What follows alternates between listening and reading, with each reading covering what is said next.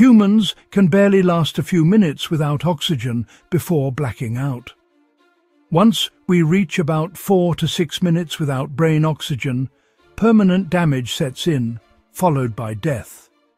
However, there's a mammal that can live without oxygen for much longer than us.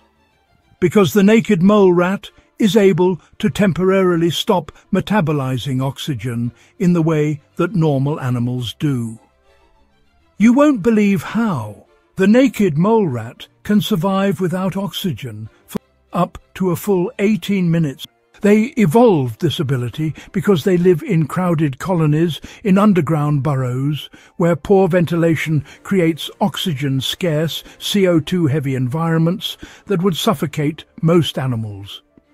When oxygen disappears, its cells switch fuel sources from glucose to fructose.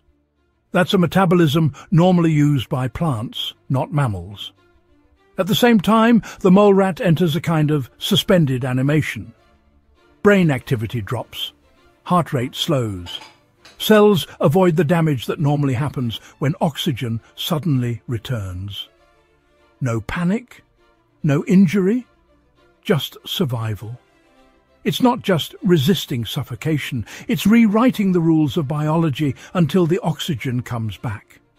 Amazing.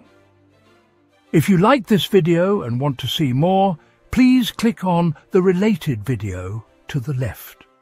Thanks for watching your daily dose of science. If you learned something new, tap like and share it with a friend.